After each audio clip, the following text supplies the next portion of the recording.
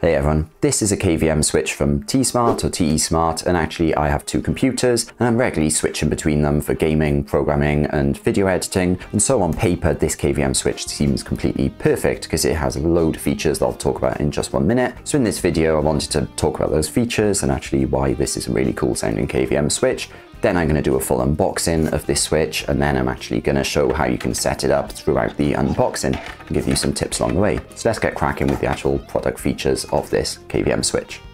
So this is a two computer, two monitor KVM switch, but they do also sell one with three monitor support. but I've only got two monitors, so this was fine for me. And on paper, it's got really impressive specs, supporting up to 8K resolutions at 60Hz or 144Hz at 4K, which is great because that's why I game at. And it also supports G-Sync and FreeSync. So when you're actually gaming, you should have less or no, you know, tearing and ghosting issues and things like that, which is really neat. You know, if you had a budget KVM switch, you might not get that.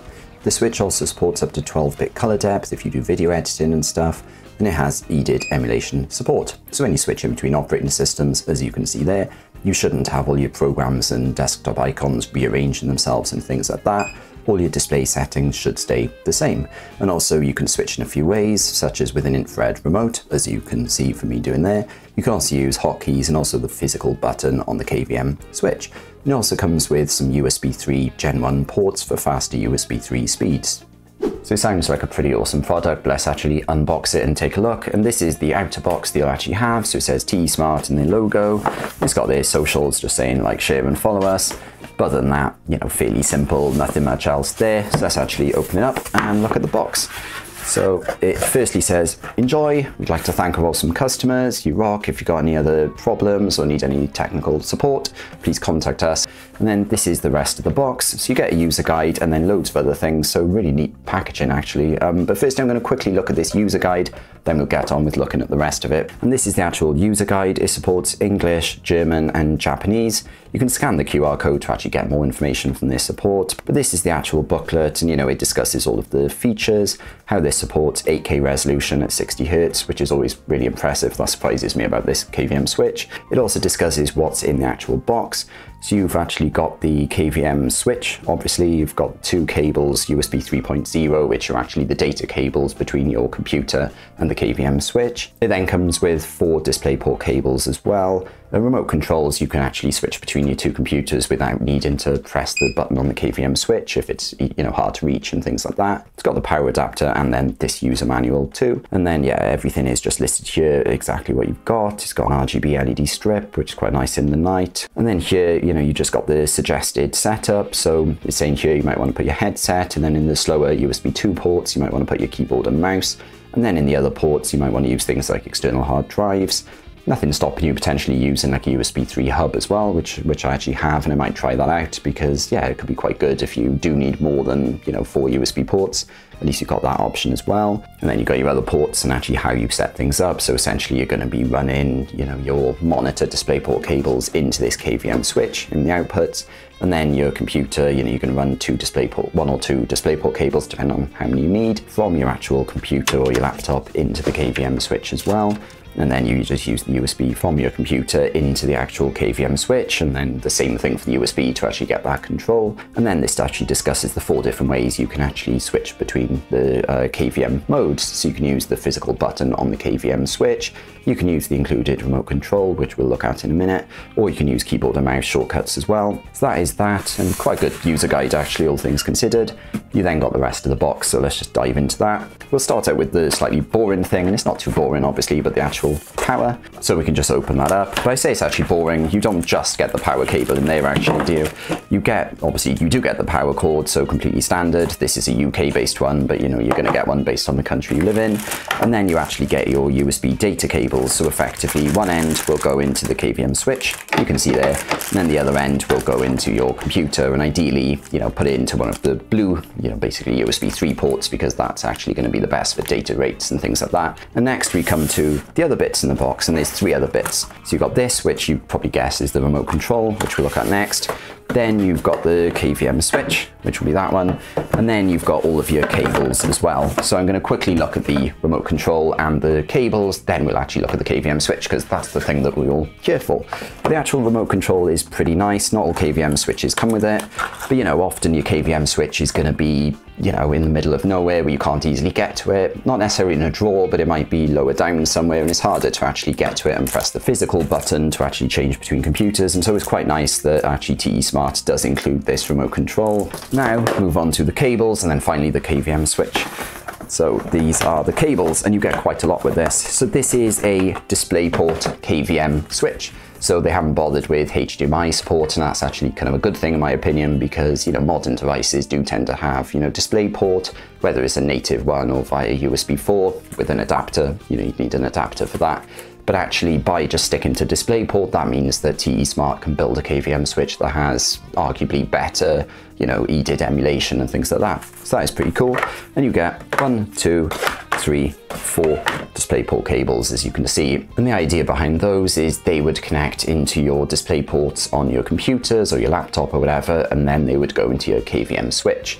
And obviously then your existing DisplayPort cables on your monitors will go into the KVM switch as well on the output bit, and you can then switch between it. So that's where you've got the four. And before we move on to unboxing the actual KVM switch, I quickly wanted to measure one of these up so you know the length of the cable, because that's gonna be quite useful for your planning purposes. Okay, so that's the start of my DisplayPort cable, and then let's come to the other end. And I know it's not completely straight, but this is still a good enough test in my opinion. We're looking at around I probably reckon it's around 70 inches or 180 centimeters because this isn't straight. So if I was to just straighten it out, yeah, it's, it's, it's, it's going to be 70 inches, isn't it? Or maybe 180 centimeters, but that is the actual length of the cable. So it's quite a good length one as well. It means your computers don't need to be in exactly the same location. So that is pretty good. Next, I'm going to do the same with the USB cable. This particular one is the USB. That's the display port I just measured. So that's the USB. Again, I'm trying to keep it straight, but it's kind of hard, really. I'm keeping it as straight as I can, and there you are. So the USB is around 5 foot or 154 centimeters, maybe slightly more than that, because there's still some slack in the cable, but effectively that's the length of it. Whereas, as I mentioned before, the DisplayPort one does have some added length on it. So hopefully knowing the lengths of those cables was useful, but next we can actually dive into the KVM switch as a whole. So let's take a look. So the box just comes off like that, and then the KVM switch will come out, and et voila. TESmart to enjoy smart. And actually the feel itself is more plasticky uh, than metal, you know, it's not a full-on metal housing I don't think, but actually it feels good sturdy plastic, so that's worth knowing dual monitor KVM, 8K. Obviously, TESmart does have other models. They've got one which actually supports three computers too. Because I've only got two computers, you know, I didn't need anything more. So you can see on the back here, and I'll, I'll show the rest of it as well. But you can see on the back here all the different ports. You've got your power in there. You've got your Ethernet as well, which is a one gigabit port. So that's worth knowing. You know, if you were hoping there would be like two and a half gig, because your two computers have two and a half gig. Unfortunately, it doesn't. But actually, just having that is quite useful because it allows both of your computers to to be on the network. You know, this has a built-in network switch effectively. So you've got your output ports here. So these would be connecting to my two monitors, one display port for that one, one display port for that one.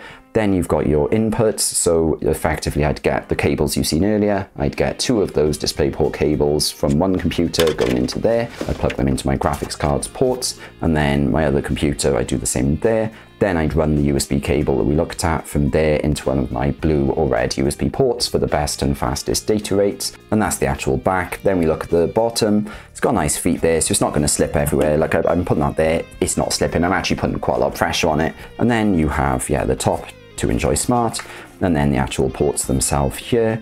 So you've got your headphone jack there, standard 3.5 mil for your headphones. And then you've got USB 3, which is 3.2 Gen 1s. They're not as fast as the Gen 2 USBs, but actually this should still be fast enough for like external hard drives or any other slightly faster device, maybe a 4K webcam and things, you'd want to put them in there. Then you've got your USB 2 USBs for keyboard and mice, and they support wireless keyboard and mice dongles and also, you know, wired plug-in ones as well. And actually these ports have legacy support as well. So, you know, older keyboards and mice should work, but obviously if you've got a newer keyboard and mouse as well, that should also work, so that is pretty good. Then you've got your little display indicator, whether it's on PC1 or PC2. You've then got an RGB strip along here, which is quite nice, so the actual unit lights up and things, which is really nice to see. This is then your selection button, the orange one, so you press that to actually switch between computers, and then your power button. And if you just press it once by mistake, you're not going to accidentally knock into it because it does require some force, but you actually, if you need to turn off your KVM switch, you hold it for one second,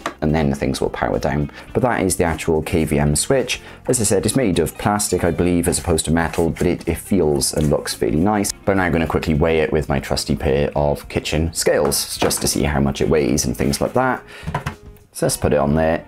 So 475 grams, which is actually a fairly good weight. It's not, you know, super heavy, it's not super light either you know, it feels like a good quality product without being insanely heavy or anything like that. So all in all, this is a really nice, impressive KVM switch. I'm really happy to have it, and I have, you know, played around with it so far, plugging it in, as you've seen in this video, and it seems to work really, really well. But actually what I'm gonna do as well is spend the next few weeks doing really hands-on testing with this, and then I'm gonna do a follow-up video on my main channel, Tech Overwrite, where I actually give a bit more information about my experiences with this particular product. Once that video is ready, you can see it over here somewhere somewhere, and I hope you enjoyed this video. If you've got any questions about this KVM switch, then please do drop me a comment. And other than that, thanks for watching this video. If you enjoyed it, please click the thumbs up button, and please subscribe to see more videos like this. Thanks for watching.